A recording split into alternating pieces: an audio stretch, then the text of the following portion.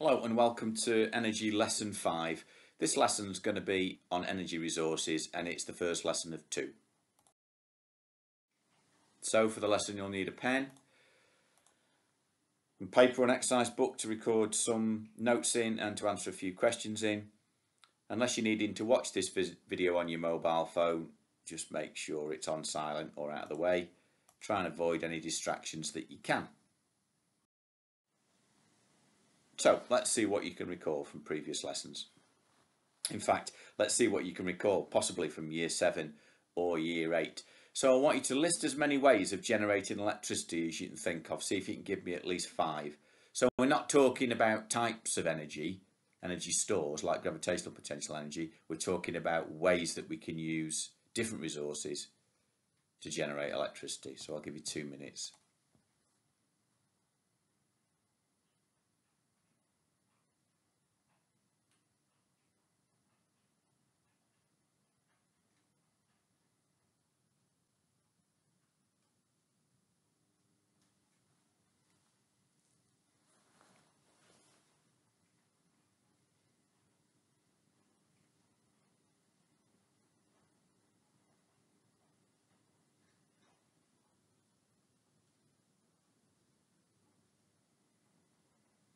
Don't stop at five if you think you can think of more. There is a lot more than that.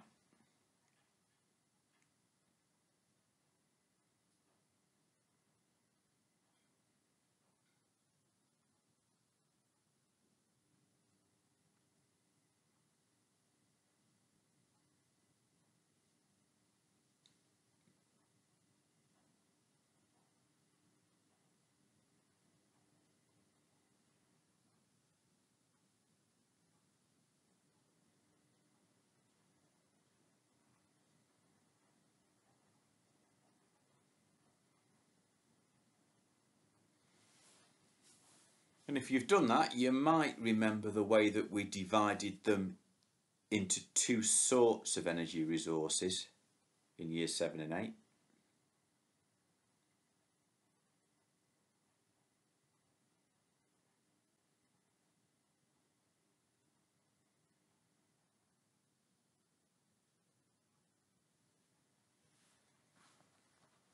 Okay, should be nearly finished.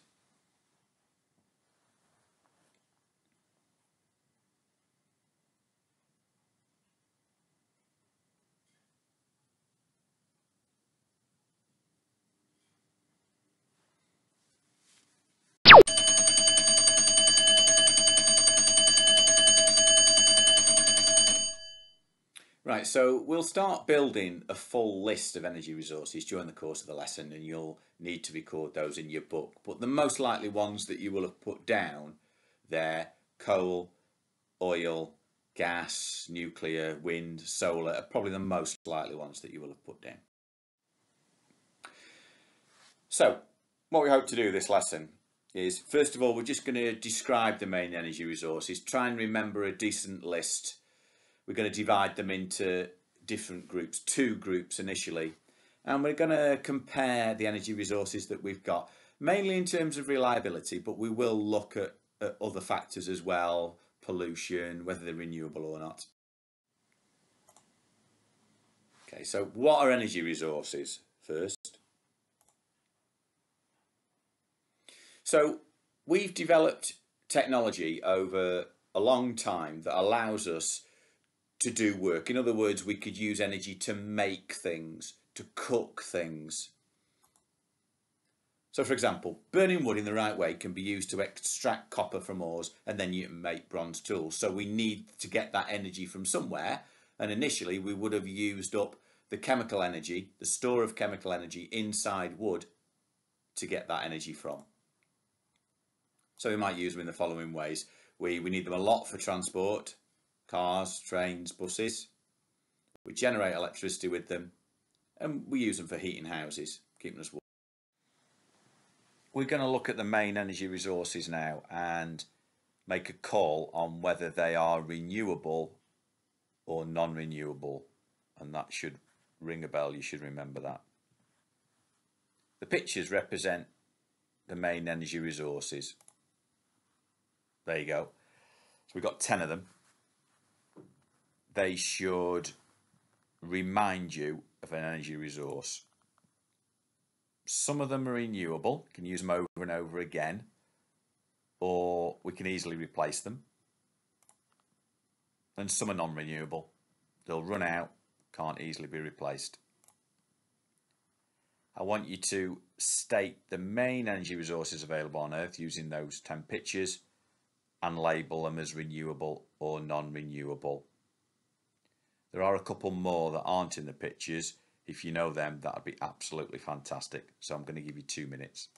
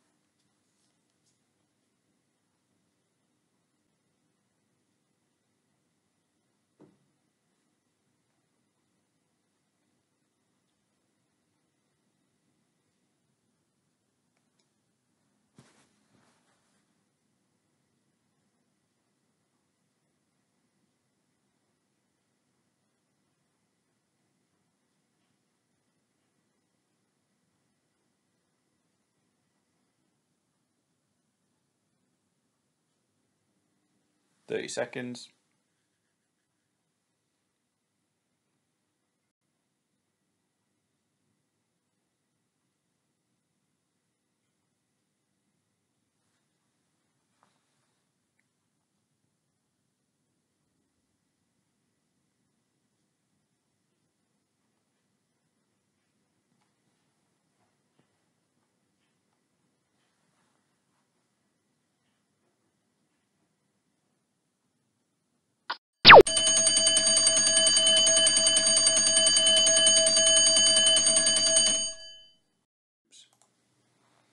There's as pictures. So first picture on the left represents wind, so we can get energy from the wind, and that's a renewable resource. It doesn't run out. Hydroelectric, you might have called it water power. That picture there is a dam. So we've got water that's going from a high place, so it contains a store of gravitational potential energy, and then it flows down to a lower place, getting kinetic energy store would increase there as it goes down and then we can use that to generate electricity. So that's renewable. We're not going to run dry. We use that water. We can keep using it. Wave power. So you're using the up and down motion of the waves to generate electricity. That's renewable. The waves that we get um, are mainly due to, to wind. So it's coming from the same place as that energy. Then we've got down the centre, we've got coal. So that's a fossil fuel, if you remember, from year seven and eight. So it's formed when we've got um, dead animals and plants being covered over and squashed. It takes millions of years to form. If you can't remember fossil fuels, I'm not going to cover it in these videos, but if you go down to, I think it's the year seven video on YouTube, you can have a look at, at fossil fuel formation there. Oil, another fossil fuel, because it's a fossil fuel, Again, that's non-renewable, takes millions of years to form, so it's not easily replaced. And natural gas is the same, so that's non-renewable. Got radioactive symbol at the bottom, so that represents nuclear power. So that's coming from the energy stored up inside unstable atoms and it's pretty much uranium that all nuclear power stations use now and that's non-renewable it has to be dug out of the ground we've got quite a lot of it left but it will run out Next picture, it's representing the moon there, and the moon is mainly responsible for our tides. So twice a day we get a high tide, twice a day we get a low tide. So those, the water moving because of the tides, you can trap the water and run it through a turbine, a bit like a dam. That's renewable. You get it twice a day. it's not going to run out. Solar power, again, it's renewable, it's not going to run out.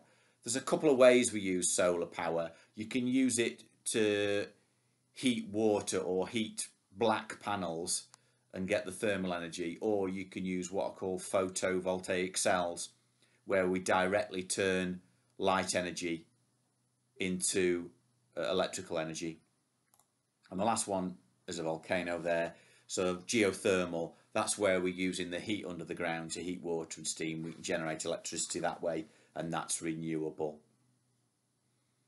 Now, you can either make a note now if you want, or you could wait to the end of the lesson because at the end of the lesson in the summary, I've got a full slide that summarises everything. It'd probably be worth pausing the video at the end and getting a full set of notes on there because you need to be remembering that so you can recall it. Relatively easy marks if you've remembered it in the exam. A couple of others you might have put down, biomass and hydrogen fuel cells biomass, if you've put wood down, burning wood, which is a a way that we've been heating houses and keeping ourselves warm for a very, very long time. When we're we're burning something from a living thing like um, trees or fermenting ethanol from crops using fermentation, we call that biomass. And hydrogen fuel cells is generating electricity from hydrogen. Why do we need them? Well, I've got three main ways here. So most of our energy resources are needed to generate electricity. Uh, the modern world is powered by electricity. In the past, almost all electricity was generated by burning fossil fuels in a big power station. That started to change, and in the UK over the last few years, it's changed quite a lot. So there's a little flow diagram there. We've got coal, so we've got chemical energy. We burn it so we get heat. We heat water into steam, and then we use that kinetic energy to drive a turbine and generate electricity. You won't do the physics behind our turbine and a generator work in making electricity until year 11 when we do the magnetism and electromagnetism topic. We also need energy for transport electric cars are more common, but the vast majority, 90% of cars on the road, are petrol and diesel cars. So they're still using fossil fuels. Petrol and diesel um, come from crude oil. We also need a lot of energy in factories for, for making products, for making things. So, for example, we need energy to extract iron, and we need that energy as well to turn the iron into steel to make products. So that's the main three ways that we need energy. Heating homes as well. Some homes are heated by electricity, but quite a lot of homes are heated by natural gas still in the UK. So I'm going to talk about this word reliable now. Some of the energy resources are reliable and some are unreliable. So let's make sure we're clear on what, what reliable means. So reliable means they're generally constant. They'll keep generating electricity. If you've got a friend who's reliable, you can count on them. So if you say to your reliable friend, uh, I'll meet you at the pitches, I'll meet you outside at eight o'clock, your reliable friend is going to turn up and they're going to be waiting for you, maybe even five minutes early outside the pitches. Your unreliable friend is told by the mum and dad that they're not allowed to go and they forget to tell you. So you can't count on them when you need them. So unreliable energy resources might rely on the weather or unpredictable, uncontrollable factors. So an example, wind. Wind is unreliable. It can be unreliable. It can be fantastic some days and non-existent on others. So some days you'll see the wind turbines. There's bound to be some somewhere near your house they're not rotating, so they depend on the weather. So now we're going to play the spot the reliable and unreliable energy resource. See how the way that I made it seem much more exciting than it really is there. So all I want you to do in two minutes is to go down the list and decide whether each one is reliable or unreliable. Remember, reliable means you can count on it day in, day out. Unreliable you're going to have some problems with it. You can't always guarantee it's going to be working. Two minutes.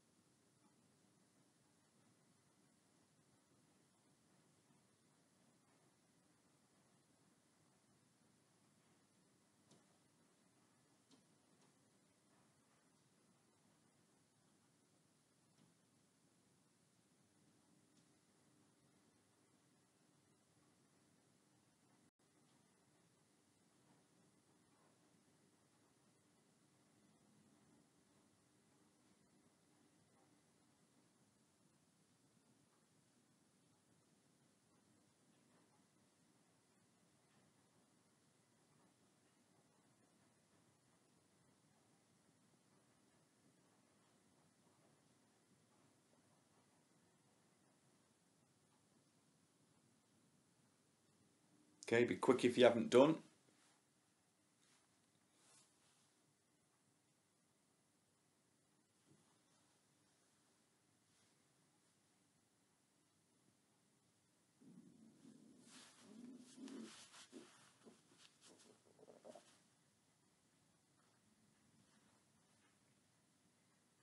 Okay, time's up.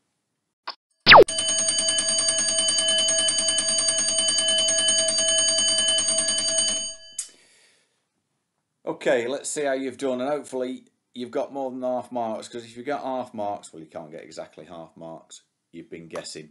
So coal's reliable. You can count on it day in, day out. As long as you've got enough of it in the ground, it's reliable. Oil, the same, reliable. It's there day in, day out.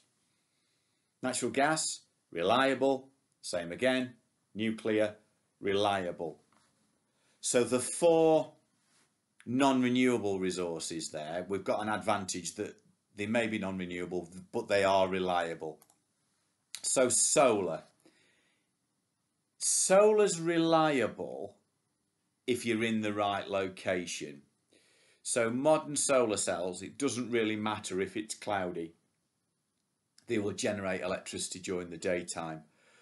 But if you live in the UK and you, you're wanting solar power to be working in winter, you've got very short daytime hours during winter. So yeah, solar is reliable. The sun's always there, but it might be a bit limited by location.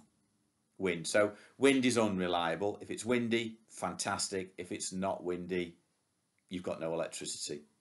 Geothermal, it's reliable, but again, it's limited by location.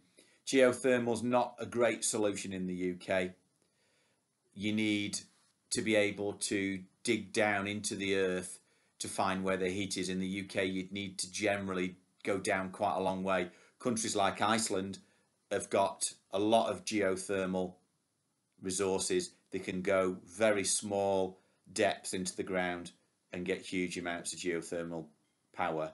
So much more suitable for their location, but it is reliable. It doesn't depend on the, the weather or anything else.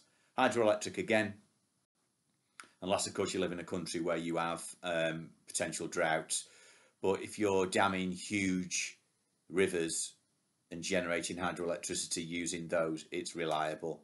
Tidal's reliable. You can use the water when it's going out, when it's coming back in, and then when it's going out and coming back in again, because you get high tide twice a day. So you've got four times per day. So it's reliable. Wave, unreliable. You get times when the sea is very calm, and you also get times when the sea is far too rough to generate the electricity. It will even damage the machines that you're using to, to capture the energy from the waves. Biofuels, reliable, so you could have a forest of trees, you could cut them down, and you've got lots and lots of wood, and then as long as you're replacing them, it's a renewable resource as well. We've talked about renewable and non-renewable. We've talked about reliable and unreliable. Now we're going to look at pollution and energy resources. Burning fossil fuels is polluting. They all contain carbon. Burning them will produce CO2.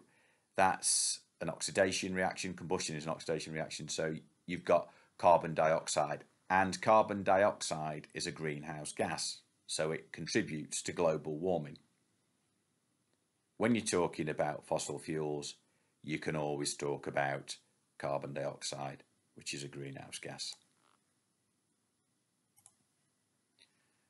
Now, burning coal and oil, which have tiny traces of sulfur in, will produce sulfur dioxide, which is very acidic and soluble. So sulfur dioxide all contribute to acid rain. When you talk about the pollution from coal and oil, talk about sulfur dioxide. Now, the nitrogen in fossil fuels will also produce nitrogen oxides, and we call those NOx gases, and they're acidic as well. When you're answering a question about pollution, talk about CO2, talk about sulfur dioxide, talk about NOx gases. And pollution is always going to be a disadvantage of using fossil fuels. There are other sorts of pollution as well. You could describe a wind turbine as visually polluting. Some people don't like the look of them. You might describe wind power, the wind turbines, as being noise pollution. If they make a noise, you live near them, you don't like it. I'm going to give you four minutes now to use what you've done already in the lesson to put down at least one advantage and one disadvantage of using each of the 11 energy resources. After about a minute, I'm going to put down a bit of a hint. So if you're struggling, it should help you to fill in quite a few boxes. Many of you will be able to have a couple of disadvantages and a couple of advantage for a lot of them. Four minutes.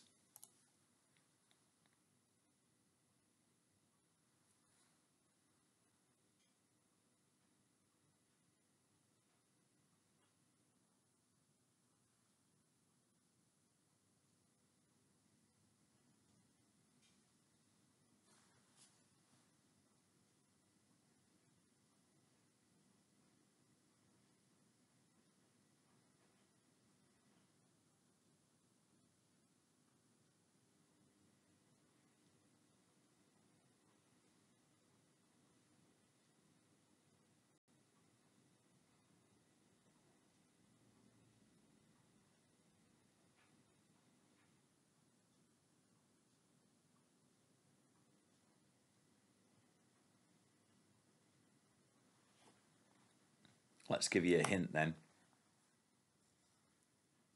If you know that an energy resource is renewable, that's always going to be an advantage.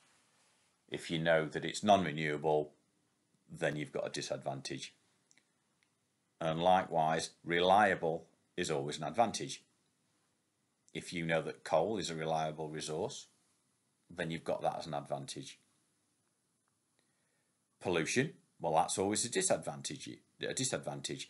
If you can, do talk about a particular type of pollution though, be a bit more specific.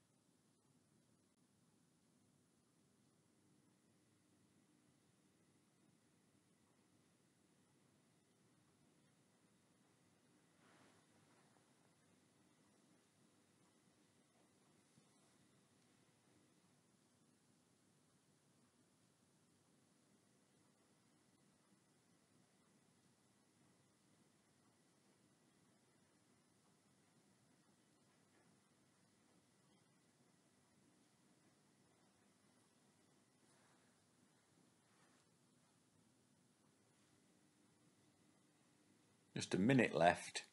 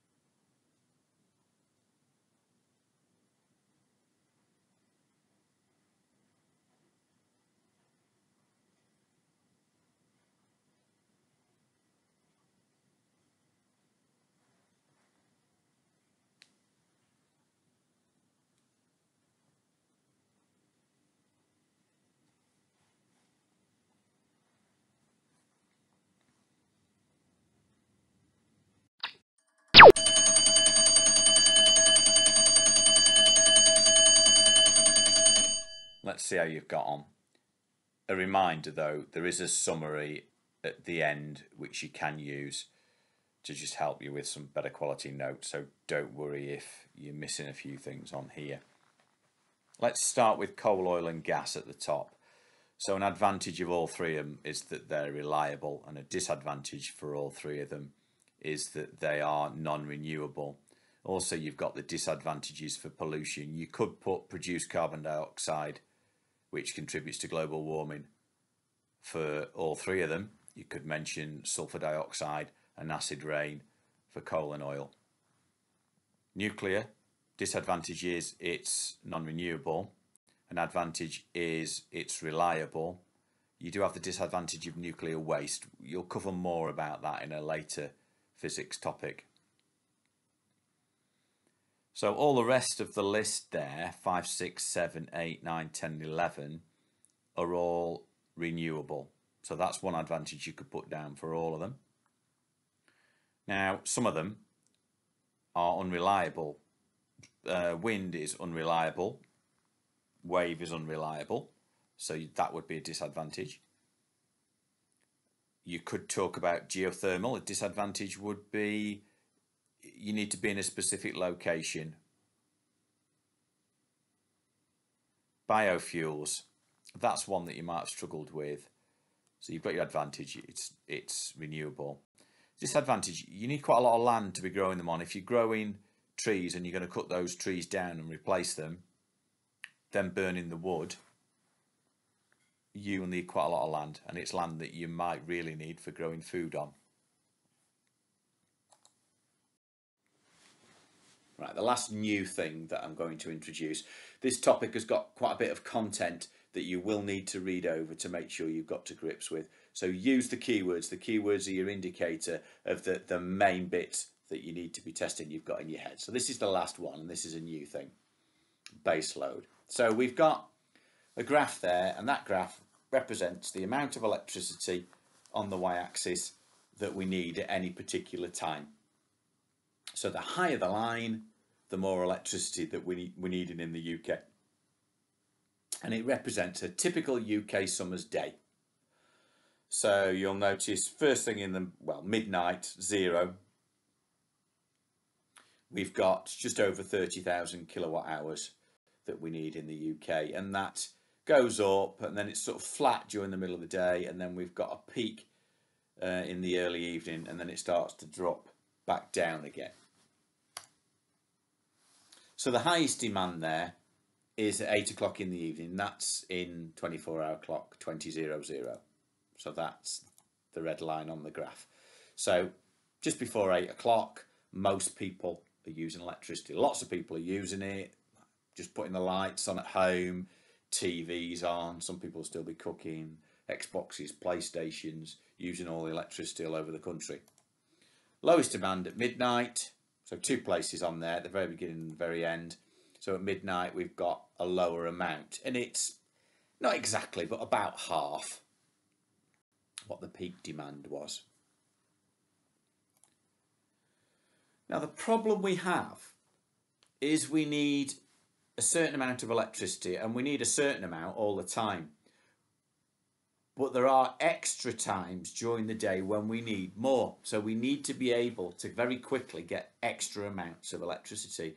We can get extreme examples where there's something happening, a World Cup final or something's happening nationally, where you get a very big demand. So we have a lot of electricity supply that's on standby. So we need certain resources that can give us that standby. So we need two types of electricity resources really. We need the one that we can have on all the time and that's called the base load. And one for extra electricity at times of higher demand. So on that graph there, that lump there, the blue lump, the rectangle I've just put on is your base load. Day in, day in, day out, we need that amount of electricity. So we always need that. But we'll need other energy resources that we need to switch on for the extra bits. Now some energy resources are great because they can be switched on and used really really quick. So that's called a startup time. So the amount of time that you need before you can have some electricity, that's the startup time. So coal, 120 minutes. So that is the amount of time it's taking for your furnace to get hot enough that you can start producing steam you know if you happen to have a coal fire at home it's not the fastest thing at getting going. So 120 minutes. So that's not much good in an emergency. But natural gas is because that's only taking you three minutes. Gas fire light pretty much straight away. Wind two minutes just for your turbine to be switched on and reach full speed. And nuclear well, shocking. It's taking four days. Uh, some bigger nuclear power stations take longer than that. So nuclear is absolutely useless for giving you quick electricity when you need it. So what we do in the UK and most of the countries is we pick the ones that are great for the base load. So coal and nuclear we've been using for well, towards 90 years now, we've been generating electricity, certainly from coal, nuclear a bit less, using those. So they're the base load because they're reliable, but they need a long startup time. So they're switched on all the time. So our coal powered power stations and nuclear power stations, they're on all the time. They give us this base load. And then other ones like natural gas and wind, we can use those for extra electricity because they've got a short startup time.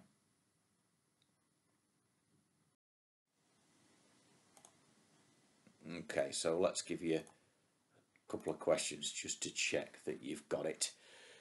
So, question one what, did, what do most households do in the country at this point? So, we're talking about football match. It's 2 2 after 90 minutes. Whistle goes, extra time, 10 minute break. It's not usually quite 10 minutes. So what do most households do at this point? So we're trying to look at a scenario we might have a bit of an issue with electricity. And if we can't sort the issue, people will end up having the electricity cut off and you'll have a power cut. So I'm going to give you two minutes, do question one, two and three.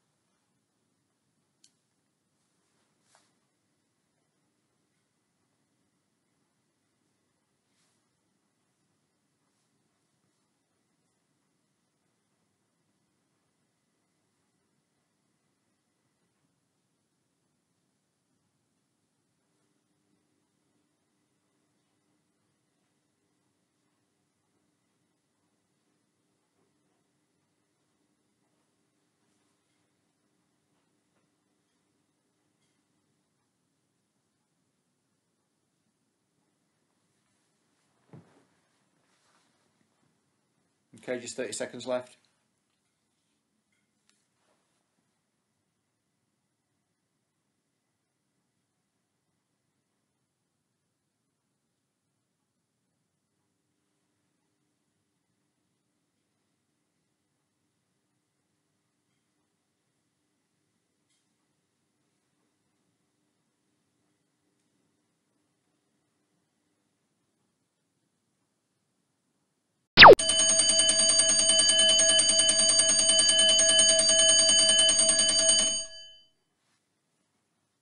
So, whistle goes. People have got 10 minutes. They've been sat there watching it.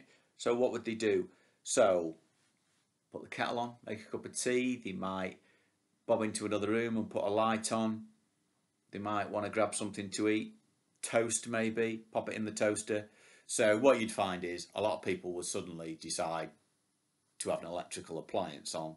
Plus, the whole country would have the TV on so there was probably a lot of electricity being used already. So question two, which energy resource would be best choice to guarantee that this peak in demand is met? So natural gas would be pretty good, three minutes. Or if you've got wind power that you weren't using, you would use that. Problem with wind power is because it's unreliable, it might not be windy at that point. What the national grid that's the whole the whole set of wires and everything across the country that's that's delivering electricity to your home. They use computers to work out when this is happening so they can act very very quickly. And also they try and predict when we're going to have problems as well. If the weather is particularly cold that's going to cause problems potentially as well. So question three what would be the best choice for the base load so we've talked about this the base load the best choices would be coal or nuclear or coal and nuclear. Potentially you'd use both. That would be the best situation.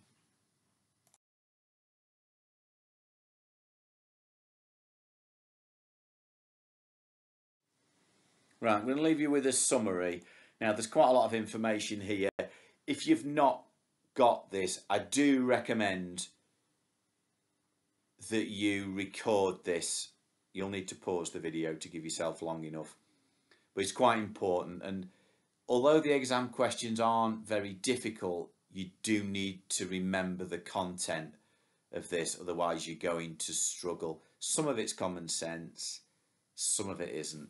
So get a, pause it, get a record in your books, and I'll see you next time where we'll be looking at some more applications and the way that we're using energy resources.